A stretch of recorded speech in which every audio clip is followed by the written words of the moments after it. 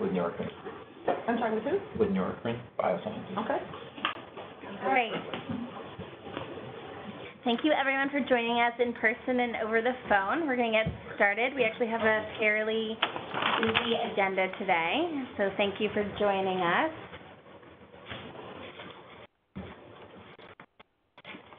Let's see. So our agenda today, we're joined by Sandra Park, the senior staff attorney um, from ACLU, and Hans Sauer uh, with Bio um, to discuss a congressional patent proposal. Um, Eric Sid with NCATS, the Office of Rare Disease Research, to discuss the Rare Disease Registry Program. Patricia Egan with the Lymphedema Treatment Act update. We're joined by Lindsay Cundiff with the EveryLife Foundation um, to give us an update on the Community Congress. And then I'll also give a brief update on Rare Across America at the end. Um, so I'm going to go ahead and turn it over to Sandra. Sandra, are you there? Yes, I'm here. Great. Sure, of course. Sorry about that. All right. Well, thank you, everyone. Um, and I appreciate, Shannon, the opportunity to speak with RDLA folks. Um, I am going to talk a little about the patent proposal that's currently been put out um, on a bipartisan basis in the Senate and the House by um, some senators and representatives, um, and our concerns about this proposal um, and what we think uh, its impact would be on um, patient communities. So, just to give folks a little bit of background on who I am, I work at the ACLU. I'm in the national office, and I was part of the legal team that brought a challenge several years ago to patents that were granted by the Patent Office uh, claiming uh, human DNA. And I'm going to give you a little bit of background on the law um, uh, in broad strokes, and then what that case um, was about, and some of the other Supreme Court cases uh, that this current congressional patent proposal is seeking to um, abrogate, and why we're so concerned about it. Um, so, the Patent Act, uh, Section 101, for over 150 years, uh, has been interpreted by the Supreme Court and other courts to prohibit patents on laws of nature, products of nature, and abstract ideas. Um, and the basic idea there is that, you know, if we allow patents on laws of nature, products of nature, and abstract ideas, we're locking up the fundamental um, things and ideas that we want people in all contexts to be able to work with to actually develop um, other types of inventions that are appropriate for patenting. Um, and so some of the early cases on this are listed here where the Supreme Court um, was looking at, you know, is what is um, trying to be patented, is it a work of nature, or does it have markedly different characteristics from any found in nature? Next slide, please.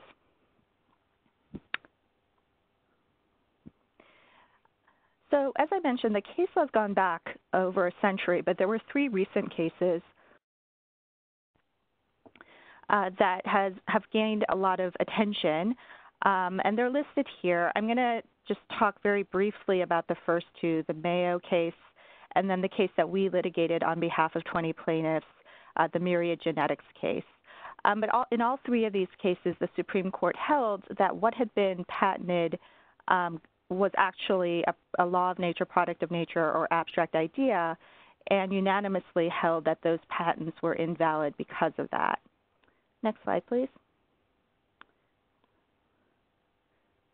So this is complicated, and uh, I just wanted to show you um, one example of a patent claim that was challenged in the Mayo case, that first case from 2012 that was listed. Um, this was a patent where uh, the Mayo Clinic was sued um, because they were accused of infringing a method. And if you look at the elements, and this is a lot of language, but basically the different steps of this method were administering a drug um, and then you determine the level of metabolites um, after after administering the drug. Um, and then once you determine that level, which is in the sub uh, in step B there, um, you then look and see well, does the level of the metabolite is it below a certain level or above a certain level? And if it's below, then you need to increase the amount of the drug. If it's um, above, you need to decrease the amount of the drug. And so that was the basic patent claim, and that's where the Supreme Court held that, you know, this patent claim isn't actually trying to patent the drug. You know, the patent holder didn't create a new drug. What the patent holder did was observe this biological relationship between the level of a metabolite and the need to increase or decrease the drug level. And that biological relationship is a law of nature that should not be patented. Um, and one of the problems with this patent claim was that because the patent holder had been able to obtain it, Mayo was actually unable to develop its own test where it slightly adjusted the drug, uh, the metabolite levels that would indicate the needs of the drug, um, whether it needed to be adjusted. And in doing so, Mayo was not able to then um, create that test because of the patent holder's ability to uh, lock up this law of nature. Next slide, please. So then the case that I'm mostly going to talk about is the Myriad Genetics case. And just to give folks a little bit of background about what that case is about, um, back in 1987, the Patent Office issued a policy where it said it would it would grant patents on so-called isolated DNA. Um, and so when scientists were sequencing the genome and found um, portions of genes or DNA, the first that were able to describe the sequence and so-called isolate it were able to obtain patents on it. The problem is isolating just meant removing it from the human cell. Um, so they were still isolating and claiming the human genetic sequences that people um, had in their bodies, and by doing so, um, they were also pre- they could also prevent others from working with that DNA. Uh, because isolation is a prerequisite step for any sort of testing or other types of scientific work with that DNA. So, by allowing patents on isolated DNA, uh, the Patent Office allowed patent holders to then have the ability to exclude others from working with those portions of human DNA. So the case dealt with specific patents that were issued on the BRCA1 and 2 genes, and those are genes that are linked to hereditary risk for breast and ovarian cancers, as well as many other types of cancers. Um, and those are just two of the genes that the Patent Office uh, issued patents on. There were many, many thousands of others. Um, and Myriad Genetics obtained the patents on these two genes, and in doing so, they then were able to send cease and desist letters to other labs that were providing testing of the BRCA1 and 2 genes, um, even when those labs were using other testing methods.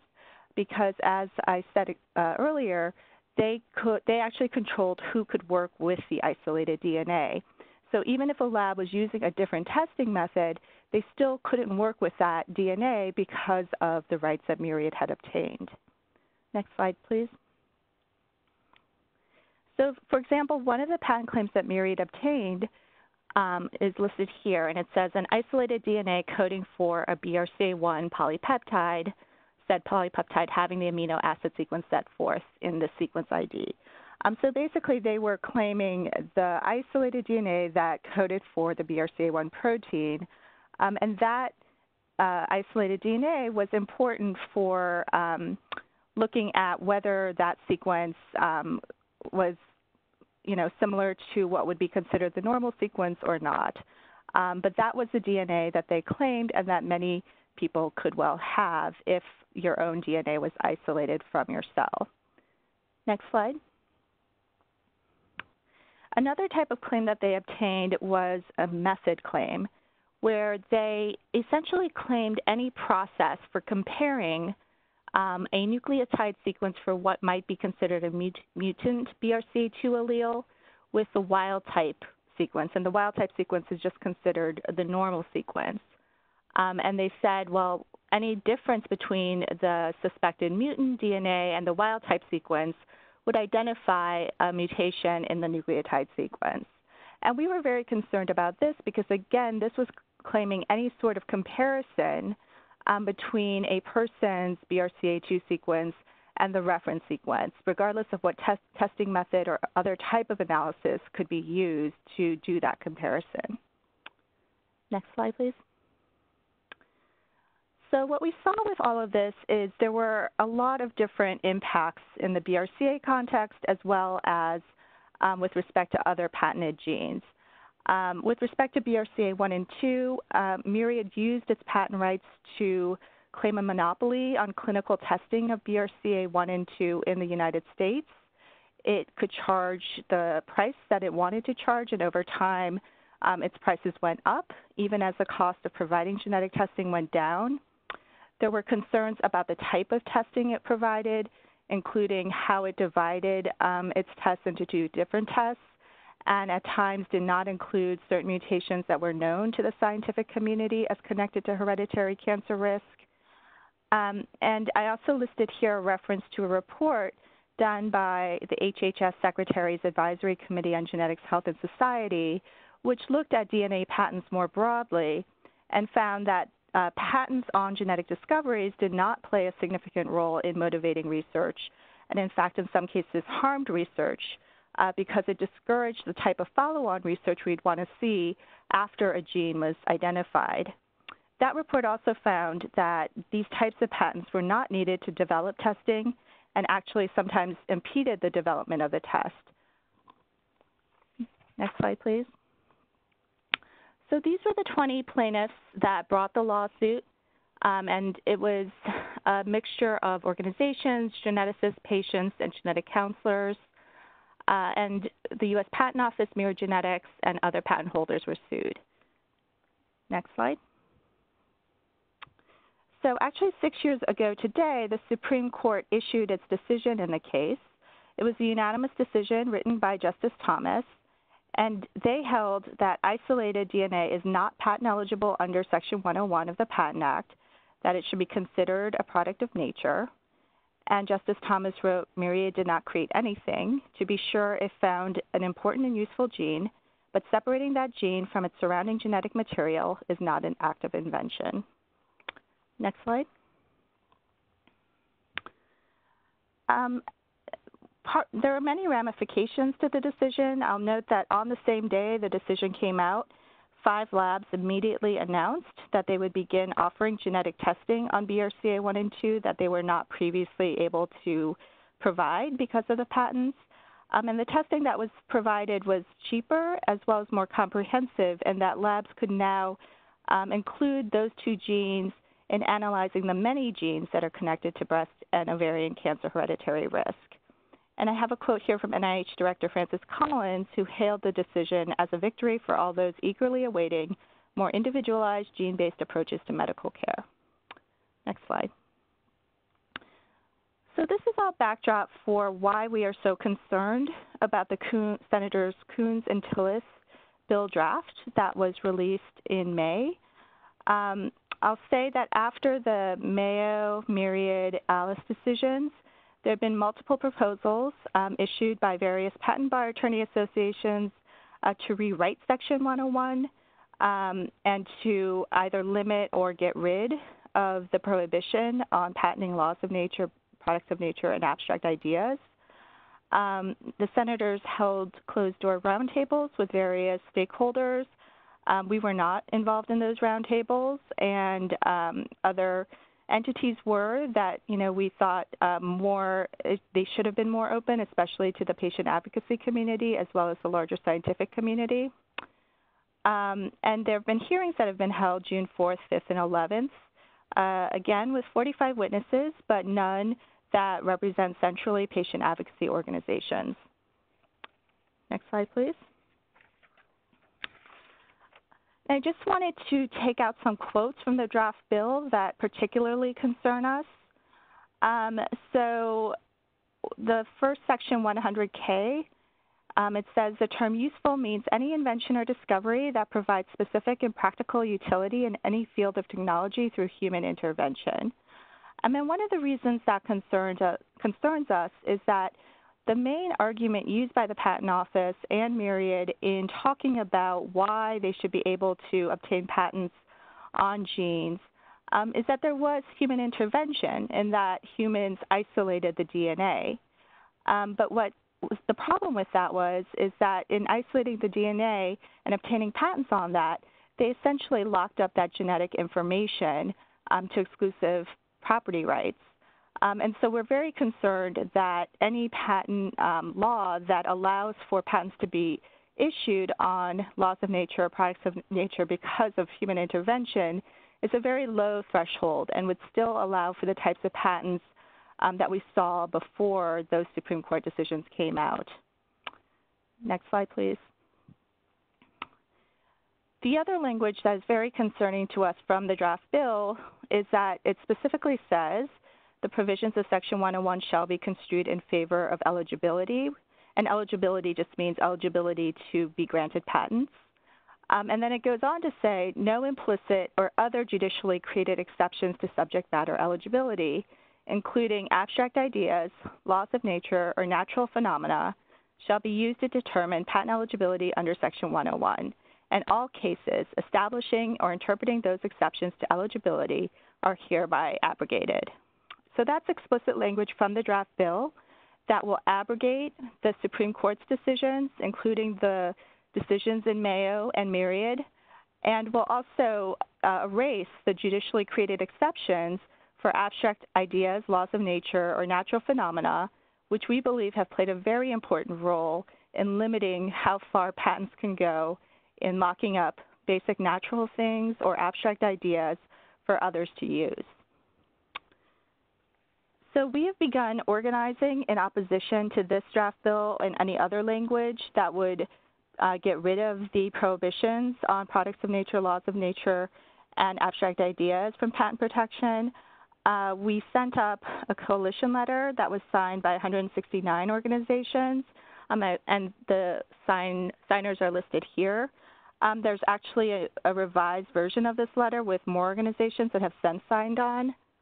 Uh, next slide. And next slide. Yep, thanks. So um, we are encouraging folks to take action, to contact their members of Congress that are involved in this debate right now. Um, and I've listed some of the key representatives and senators on this slide and happy to send around these slides. Um, if that makes sense, through RDLA after this webinar. And then next slide. And we've also um, released some communications resources, including a blog post uh, from me and Kate Ruane, who is our legislative counsel working on this. Um, there was a story in the Washington Post, um, and there were some other uh, communications resources. And then I've also listed the website about the gene patent litigation for anyone who's interested. Thank you. I'm happy to take any questions if, if that's useful. Thank you so much, Sandra. Um, I don't see any, usually we get questions if people have any um, through the chat, and I don't see any at the moment. Um, but I would encourage folks that if you do have specific questions, perhaps you can get in touch with, with Sandra, or um, you can go ahead and email me or call me, and um, I can give you uh, the contact information.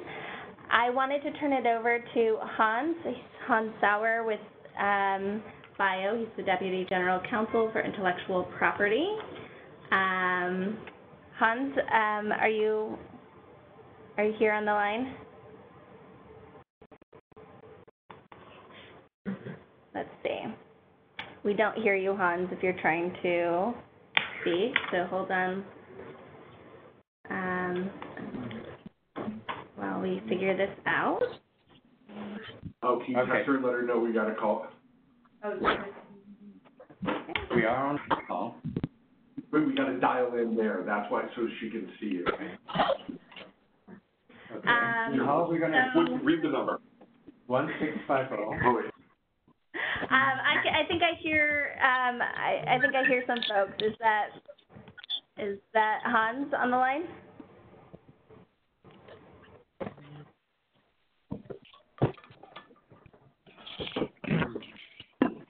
Ham.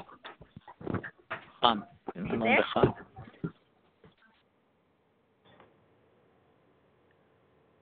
All right, hold on. I,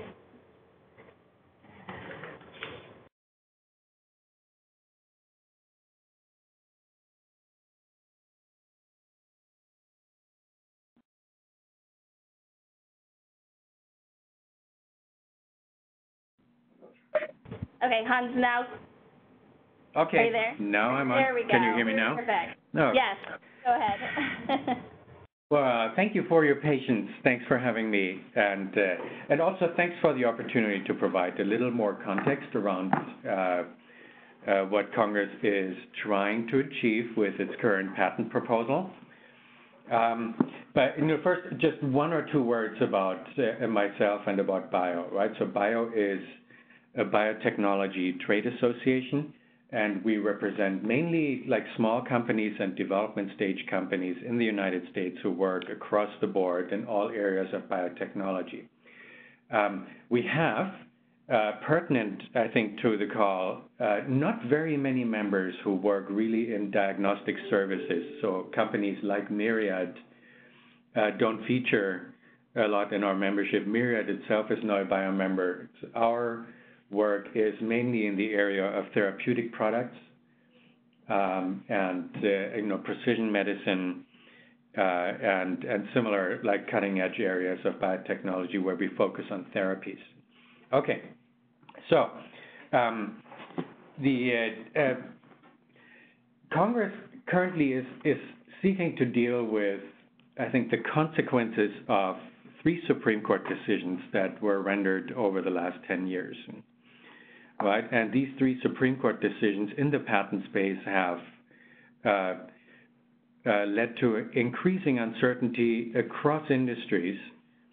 Uh, so this is not just a biotechnology phenomenon, but it affects other industries as well, as I'm going to like explain briefly in the following. But what is at stake, and as Ms. Park explained to you, is, are these areas of judicial exceptions to patentability. Right? In order to get a patent, Uh, it is and always was a requirement that you have to show that what you claim to have invented is new compared to everything that came before it in human technology that is unobvious. It needs to be properly described. It needs to have a form of industrial or technical applicability. And and the patent law also has a special provision, and this is what uh, Ms. Park meant when she referred to Section 101. At the very beginning of the Patent Act, there is a provision that says, uh, here are the kinds of things that we will even consider for patenting. Right? The kinds of things that are inside the patent system are new machines, uh, new manufactured articles, new compositions of matter like new chemicals, or new and useful processes. So these are like the categories of things that people would expect inventions to fall into, right? So uh, a patent will only be granted if any such thing that's claimed to be invented uh, meets a whole number of requirements. The court, over time, um, has developed exceptions to this that are not grounded in the patent law itself, right? These are judge-made exceptions, and they go back to old cases where the court, in side remarks, really, in its decisions has said, and oh, by the way, of course, things like the heat of the sun and a new plant found in the wild or a mineral that's merely discovered in the earth, these kinds of things, of course, aren't patentable because they're not inventions, right? They weren't made by anyone. Right? They were just found somewhere in that state, and why should anyone be able to patent that if it was always there, and if it really hasn't been tweaked or changed in any way by people? Now, these exceptions, since these, this most recent series of Supreme Court decisions, um, have changed and they've begun to expand in U.S. patent law in unpredictable ways, and also in ways that weren't expected when the Supreme Court decisions came out. These exceptions to the kinds of things that we will be allowed for patenting now affect inventions in fields ranging from artificial intelligence uh, to industrial enzymes, business software, uh, personalized drug treatments, telecommunications, uh, modern fermentation technology, even electric vehicle charging networks and things, right? So this is, it has become a cross-industry problem. Um, the lower courts and the patent office, as well as, you know, many sectors of U.S. industry have expressed frustration with this uncertain state of the law and these expanding exceptions to patentability. The lower courts and the Patent Office have asked for help and for further clarification, but so far the Supreme Court, even though it's had many opportunities, has declined to further elucidate its past decisions over the last 10 years. Right?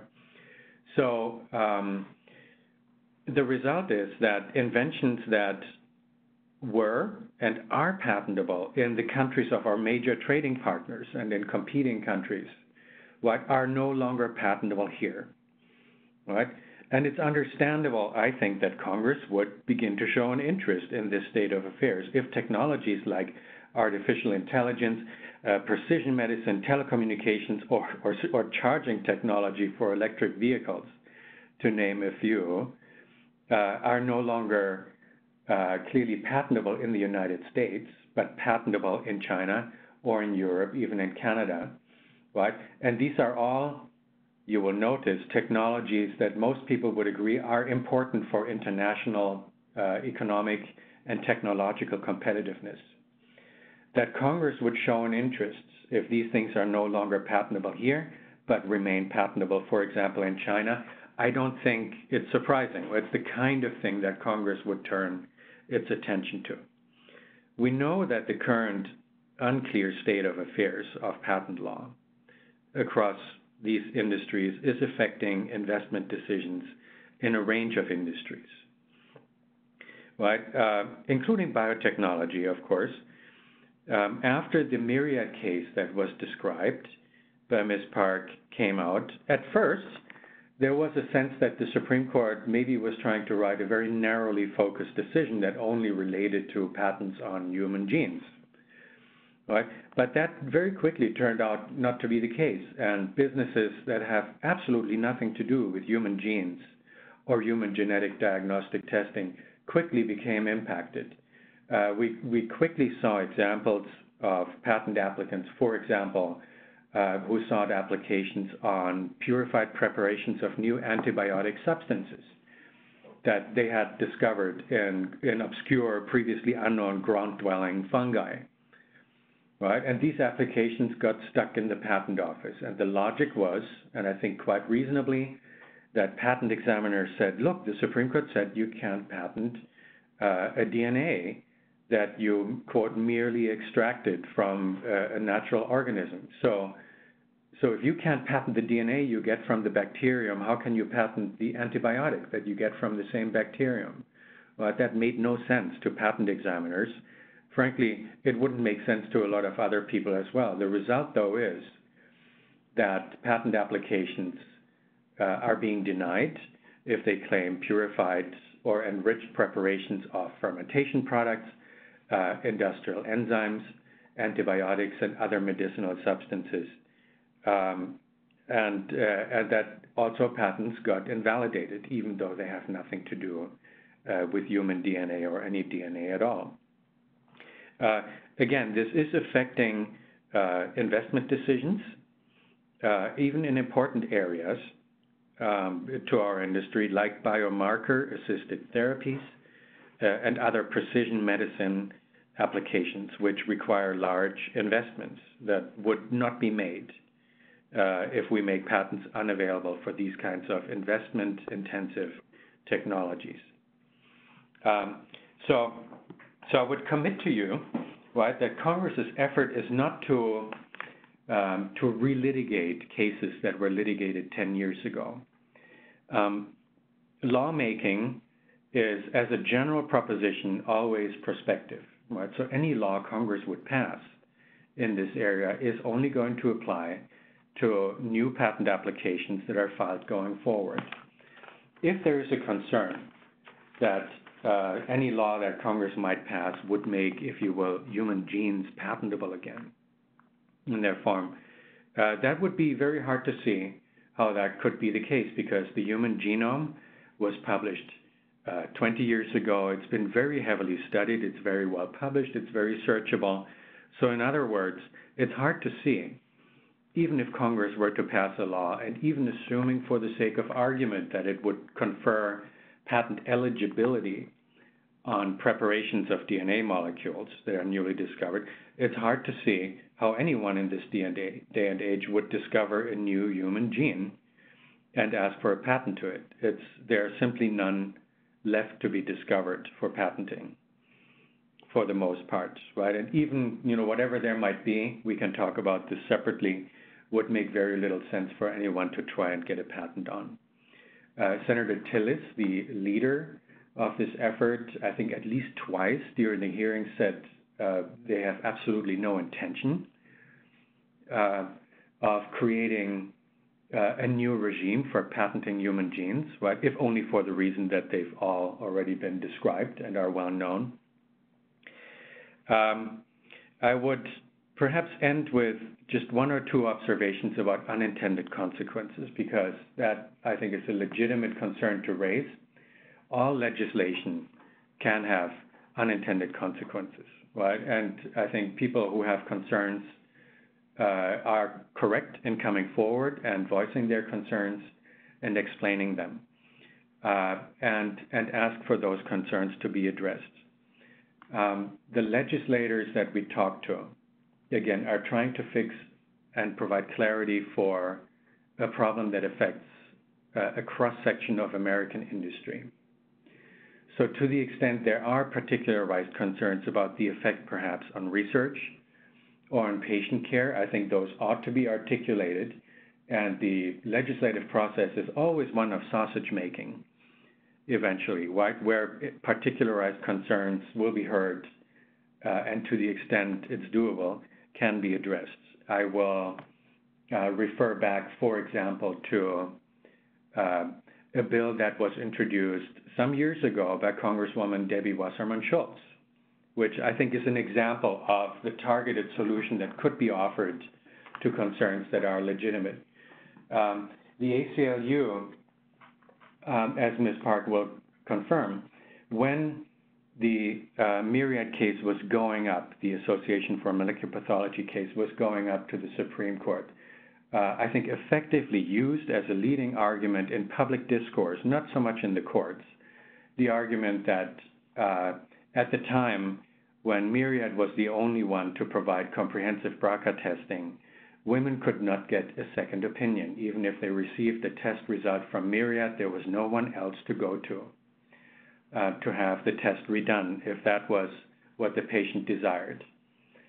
Right, so Congresswoman Wasserman Schultz, quite persuaded by the argument, said, let's find a, a policy solution for this. Right, there ought to be a way to do this, short of doing away with all patents on such technology. And uh, she introduced and got included as an amendment into the then pending patent reform bill an amendment that would have provided for confirmatory genetic diagnostic testing that was based on the simple proposition that if there's a test provider, and that test provider may have a patent relating to its test, if that test provider provides a first test, well, then they were already paid for it. And it's no skin off their back if somebody else were to do a repeat test to confirm the result. Nobody gets harmed. Nobody loses any commercial interest that they might have. Uh, and this could be done completely free of patent infringement liability. This provision was included in the bill. We thought at the time it was an example of the targeted accommodation of concerns that could be done, and that provision was struck from the bill uh, you know, at the initiative of the ACLU, which was very worried that this might actually mean that uh, Congress might implicitly endorse patents on such technology, and the preferable outcome for ACLU at the time was what they subsequently achieved in the Supreme Court, that broad swaths of patents instead were struck down. Right?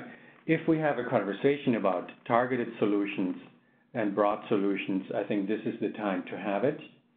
Uh, the current proposition by ACLU is that we should have no patent law reform in Congress, right? ACLU and AMP are on record as opposing the whole effort. And, and we think that is overbroad because we're dealing with a new phenomenon that did not exist at the time these cases were litigated. We're dealing with a current problem in patent law, and I find it hard to believe uh, that stakeholders would rather have a world where artificial intelligence, antibiotic substances, industrial enzymes, and telecommunications inventions were unpatentable, uh, just to make a point. Right? So I would invite and this is what we heard from the lawmakers as well, uh, interested stakeholders to come forward, uh, to particularize their concerns and to go through the normal legislative process where these concerns will be evaluated and there will probably be ways to address a larger number of them than most people would assume. So, so that's what I had. I just want to leave you with a final thought because we hear it so often from our member companies that to the extent you all are asking yourselves, what might this mean for my organization, my constituency, for our patients? Um, uh, we think that to the extent the, uh, um, the disease states that you're dealing with uh, are so unexplored that they will require significant investment, right? And to the extent you want to attract uh, private stakeholders, companies, to work with you and spend money on research and developing therapies. Um, that in our belief, our companies all tell us it would be very counterproductive to take away the availability of patents because patents are empirically important to attract investment and to spend money on the development of cures and new treatments. Right? Your disease state may be one that is so unexplored that it is currently largely being addressed through academic research and very early stage research. And so, so you may not need a lot of corporate investment or private stakeholders. But I think every organization in that sense will be different. And, and I, I think you all know best, uh, you know, what kind of investment and attraction, attraction of private capital will be required in your particular situation. So thank you for that. If you have questions, please like communicate them. I don't know if there will be time on the call, but I'm all yours at this point. Thank you for your attention. Thanks. Thank you so much, Hans um, and Sandra. Um, we're going to move along in the agenda. Um, and next we have Eric Sid with the Office of Rare Disease Research at NCATS. Um, are you there, Eric? Yeah, can you hear me, Shannon? Yes, perfect. Go Okay. ahead. Great. Great. Uh, and I know that we don't uh, have too much time left, and we still have a couple more uh, presentations. So I'll try to um, skip through some of the information I have on um, some slides that's a little bit too uh, content heavy. Um, so my name is, is, Eric Sid again, and I'm a Presidential Management Fellow from the uh, National Institutes of Health, um, specifically with the uh, National Center for Advancing Translational Sciences, also known as NCATS and the uh, Office of Rare Disease Research. Uh, I'm going to be sharing with you today one of our new programs um, called RADAR, but I wanted to talk to you briefly about the mission of our office, which is about accelerating rare disease research to benefit patients. A lot of the work we do at NIH oftentimes focuses on scientists and clinicians, but we actually also do a lot um, directly with patients as well as patient groups. Next slide, please. Um, specifically in my office as well as within my center, there are a large number of resources we have. I'm not going to spend time talking on many of those. So we're going to focus primarily on this new program that we have in that uh, red dotted uh, box on the bottom right. But there are definitely other resources we have available for patient organizations as well. Next slide, please. So uh, as a little bit of background first, um, there are oftentimes a lot of different definitions for what registries are. Uh, this is my definition based off of the uh, AHRQ, the Agency for Healthcare Quality uh, Research. Um, uh, and basically, I look at registries as a translational tool. Um, registries are organized systems to collect uniform information with a defined purpose, a target population, and a method. And when we talk about uniform information, really what we're thinking about is data. Uh, it's a scary term sometimes for non-scientists, but really we're talking about collecting patient information on either their contact information, demographics, um, perhaps about their background, or information coming from a clinician about their medical situation. Next slide, please. When we talk about rare disease registries in particular, there are a lot of unique features with this, mainly because when you talk about rare diseases, it's a very different situation. Every single research participant matters in the creation of, of your research study. Um, when you talk about a disease like diabetes that has 30 million uh, patients in the US, that's a very different situation statistically than when you talk about a disease that only has 100 patients in the US. So it's really important that we have every single member um, of the patient community uh, involved and kind of aware about what research efforts are occurring and potentially what they may be able to participate in. Next slide, please. going along uh, those lines, when we talk about data, this is where I live as a scientist and a clinician. Um, patient experience data has a lot of different terms. I won't go through these in de detail, but this is how scientists, FDA, NIH, um, academicians, uh, industry, what we talk about when we think about data and research. Next slide. But when we talk about for patients, patient groups in particular oftentimes talk about stories. Registries are a great resource to help translate your stories into data that can really be used to talk to researchers or industry folks or you know regulators. So really that's the key point about thinking about why um, registries are so important as well as when we talk about actually using registries, it's really important to keep different priorities in mind. Next slide, please. So there are many, many different resources available to teach you what to do and how to do a registry. We didn't want to redo all that existing work. Rather than doing that, we wanted to focus on the bigger questions that when we work with patient groups, we hear that you have. What are your priorities? Which should you start out with? What are important principles to keep in mind so that your registry is able to really function downstream? We've heard again and again and again of stories of examples of problems that people will, you know, lessons people will learn as they go through the process of developing a registry.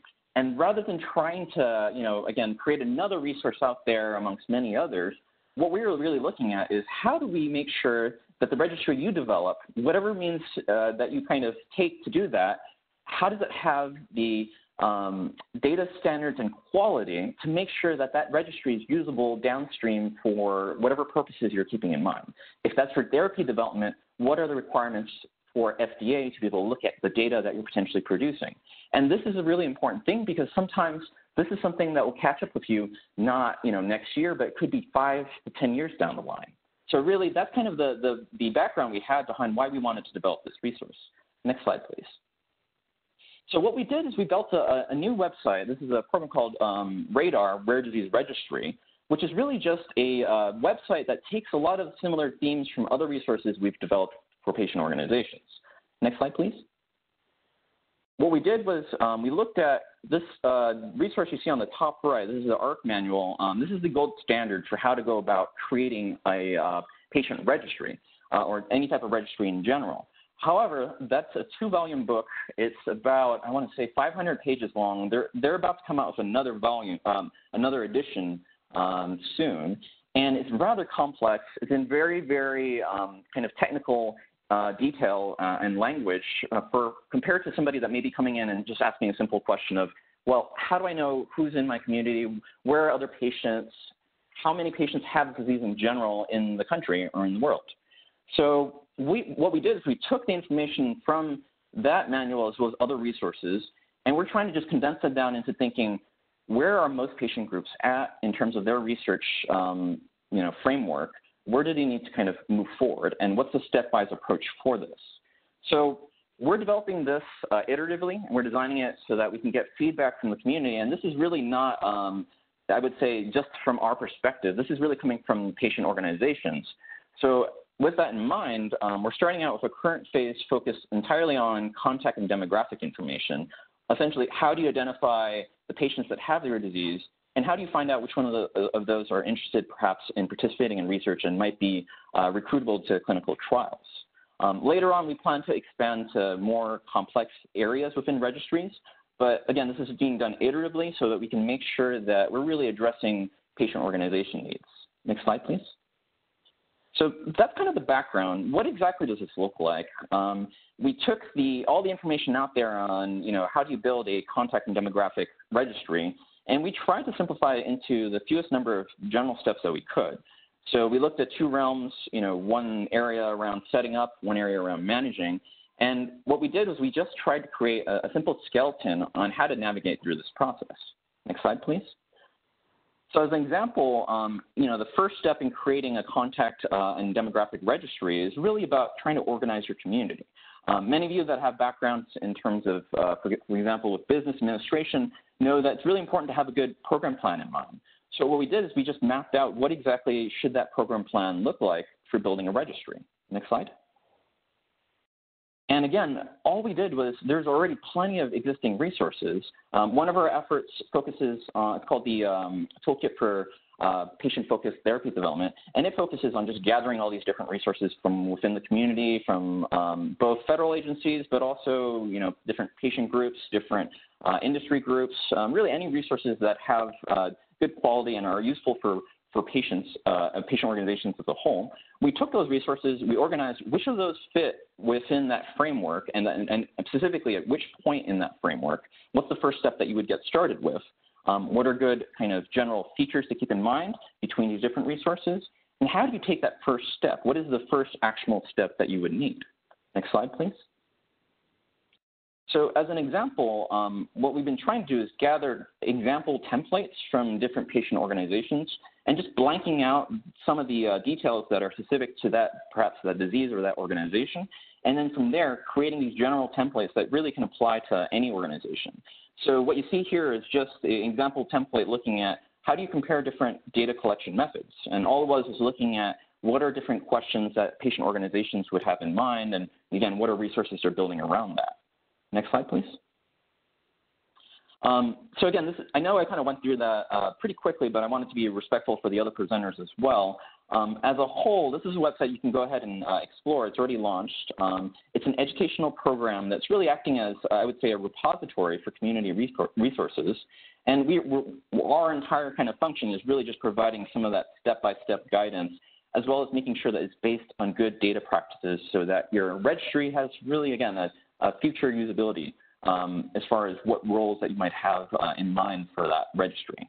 Um, the current launch is focused much more on contact and demographic information, and it's a living website. So it's designed, again, to share your tools, your resources, your suggestions, and it's really kind of, uh, again, it's, it's our way of trying to collect all this common knowledge within the patient community and just try to put it in a single resource and make that, you know, again, as more of a, a neutral kind of stance that based off of um, our perspective uh, as NIH and kind of focusing on research quality.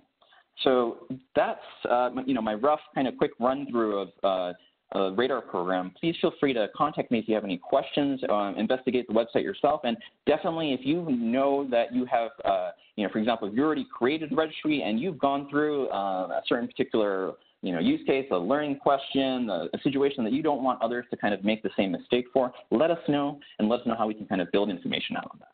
Thank you. Thank you, Eric. Um, so Patricia is on the line to discuss the uh, Lymphedema Treatment Act update. Patricia? Are you there, Patricia? Uh-oh.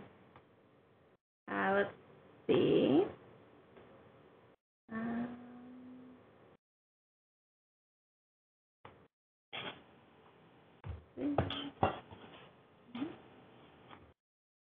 oh no. Um, Trisha, are you there? I'm so sorry. Um, all right. Um, I think we'll skip ahead. Um, if anyone has questions about the Lymphedema Treatment Act, feel free to reach out to me and I can put you in touch with Patricia. Um, and these slides will be available also on our website after the call. Um, the recording gets posted at rareadvocates.org backslash webinars after each of these um, meetings. So feel free to um, search for it there. Lindsay, are you on the line? Yeah, can you hear me? Yes, I can. Great. Go ahead. Um, yep, you can skip to the next slide, please. Great. Um, all right, thank you. Hey, everyone. Our uh, Director of Public Policy, Steve, was unable to join us on the call today, so I'm just filling in to give you a brief update on Community Congress. For anyone on the call who's unfamiliar, uh, Community Congress is our membership-based program at EveryLife. The program is dedicated to bringing uh, together patient organizations, industry leaders, and other rare disease stakeholders. We believe that everyone should share the same seat at the table when it comes to discussing urgent policy issues. The Congress itself serves as a strategic ad, uh, advisory council and consists of three different working groups newborn screening, Public Policy, and uh, the Regulatory Committee. Each of those groups has two different co-chairs, one from industry and one from a patient organization. I will also add that membership is free for all 501c patient organizations. Next slide. A quick uh, overview of the mission of the Newborn Screening Working Group. Uh, the uh, mission is for ensuring patients to receive earliest access and diagnostic opportunities through newborn screening. This year's priorities the group is focusing on is the reauthorization of the Newborn Screening Saves Lives Act. This is a federal bill. Uh, they will also be focusing on supporting state coalitions and adding conditions to the rest, and identifying and promoting the future of diagnostic tools. Next slide. For our regulatory group, uh, the mission is to focus on improving the regulatory process and advancing regulatory science for rare disease therapies. Uh, this year, this group is focusing on working with FDA on more flexible clinical trial designs and biomarkers, uh, looking at the obstacles faced by small clinical trial designs and coming up with strategies to overcome them. Uh, this group is also focusing on creating a dialogue with FDA and different patient communities and promoting the proposed FDA Rare Disease Center of Excellence. Next slide. Uh, last but not least, the third uh, working group for this Congress, uh, we've got the Public Policy Group. Their mission is closing the innovation gap for the 95% of rare diseases that have no FDA approved treatment and ensuring patients receive the earliest access to treatment opportunities. For 2019 priorities, this group is pursuing the NASEM study of the economic and societal burden for rare diseases. You may have also heard us refer to this as the burden study. Uh, they will also be focusing on conceptualizing legislative and regulatory policies to build upon the Orphan Drug Act. Next slide. What's next for Community Congress? Just a reminder of anyone who is already a part of this advisory council, we've got our mid-year webinar uh, coming up next week. This includes all working groups and it's taking place on June 19th at 3 p.m. Eastern Time. Those of you in the DC area are free to join us in person at the Rare Hub. Uh, for those of you who will be joining remotely, you're free to join us via webinar. Another reminder that this webinar is followed by our survey that we encourage all members of the Congress to participate in. Uh, if you are already part of the Congress and have not received an invite, please reach out to us. If you are not part of the Congress and are interested in joining, you can join at any time throughout the year. Just out, uh, reach out to myself if you're part of a patient organization or Ted from our development team if you are part of an industry. That's it for me. Thanks, Shannon. Great. Thanks, Lindsay, so much for joining us. So um, this is Shannon, and I'm going to give a quick update on Rare Across America. If you haven't already heard about our Rare Across America program, it was previously called In-District Lobby Days, and it's an opportunity for advocates to meet with their federal legislators in the district offices during the month of August. RDLA schedules the meetings for the advocates in the district offices of their representative and senators. And we do training, webinars, and we provide resources um, such as one-pagers and other materials to help prepare advocates for those meetings as well. And so advocates can attend one meeting or all three meetings, depending on their schedule and availability. Um, so we're pretty flexible. Um, so the dates, the important dates for Rare Across America, the registration is open till July 3rd, and you can register at rareacrossamerica.org. We will have an, an informational webinar um, about the meetings that they'll be having, um, how to have a successful meeting, what to expect during the meeting with their legislators, and um, some legislative asks that advocates can have during their meetings.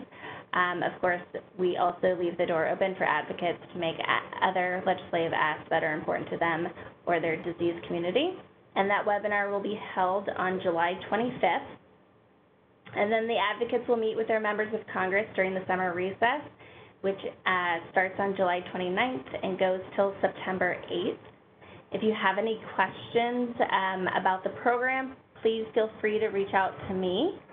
Uh, we have so far 272 participants registered from 46 states to participate. Um, our goal is to have meetings in all 50 states.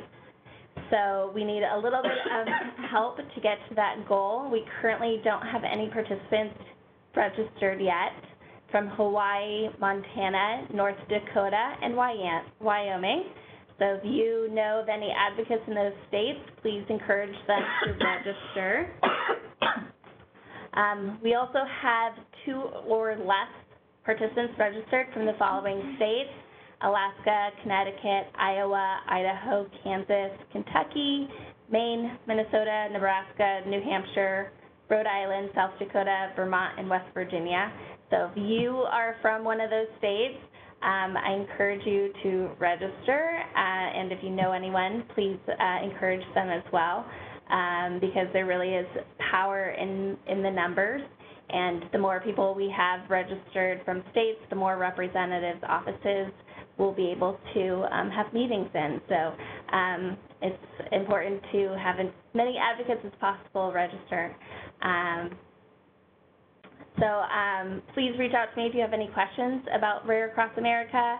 Um, you can uh, forward any emails that I've sent about it to people that you know. We have some uh, social media posts on the RDLA uh, Facebook and Twitter accounts that you're free to share or retweet as well. Um, and then it's just about 1 o'clock, so we will close. But a little reminder that our next RDLA meeting will take place on July 18th. We do not have one scheduled for August since um, DC slows down during that month.